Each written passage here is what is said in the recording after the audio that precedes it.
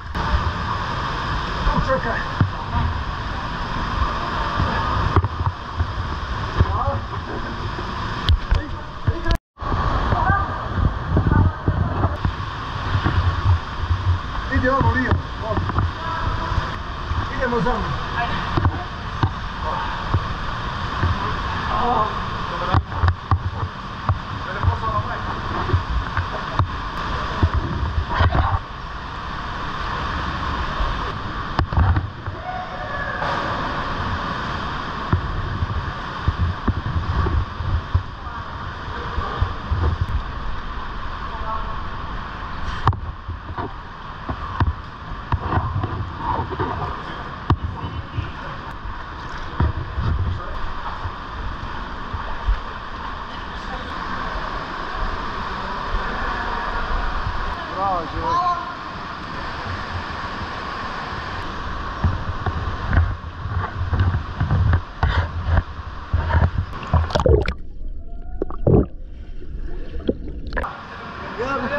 udar.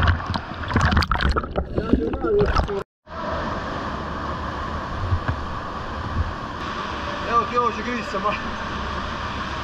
Samo da nije sud.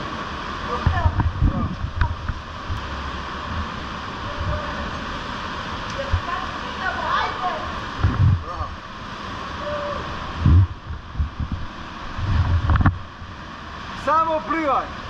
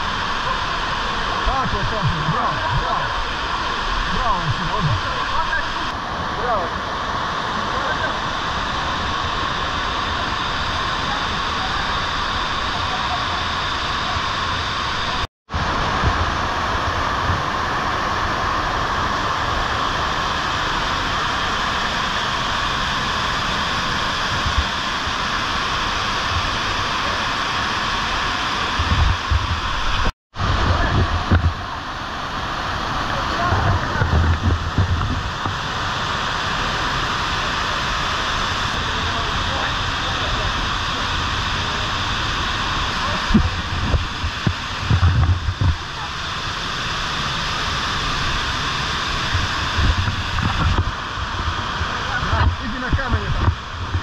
Vai ficar sujo, vai ficar sujo. Olha, mulher, fotografia no canhão. Bravo. Не вероятен пригидно. Скидай. Браво. Иди кој ништо. Пази кој знаеш што assistir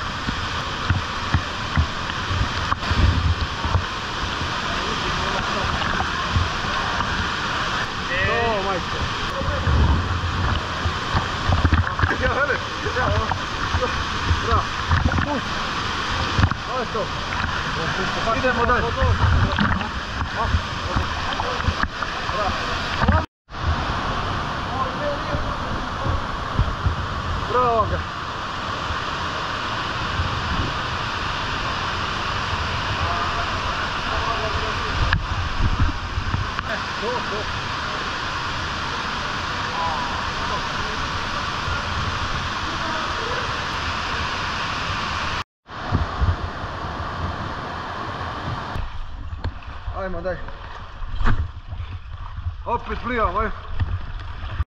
Tako, bra. Samo idi slobodno.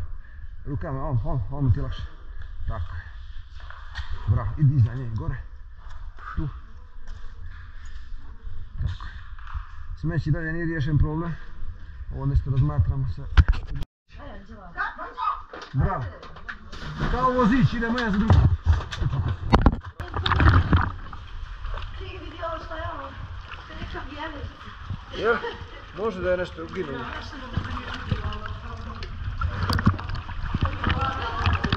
Pa. A vidi ove kadro. Gledajte tu ekipu.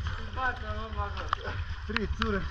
Izuzetni ovakav, ovakav optimizam i ovakav adrenalin. Svaka vam čast. I vama! Da se stavi tu da smo svi u grupu.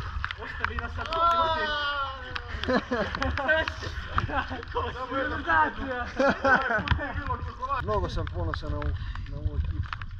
Ovo su učesnici, to jest turisti koji su se javili na veoma, veoma ekstremnoj kanjoning avanturi. Od nas smo vezani, vjerujte, vezano se ova avantura. Na najekstremniji uslovi u kanjoning od kad radim ušte kanjon. I ponosan sam na ovaj Oni su se smijali, uživali kao da je to bila igra, kao da smo pošli na neku hiking tur. Svaka vam čast. Nakon do pod, bravo. Luka šampione. Ovo je bilo za medalju. Ajde, bravo mačić. Rija, svaka čast. Već, fantastično. Đorđe, Đorđe prvi put u kanjoningu. Prvi plaća, čestitam. Anđa, bravo. A naučili su nas da ako se bojiš, možeš samo da sanjaš. Tako da... Bravo, moj šampion, bravo. Ne gledajte mu zažno.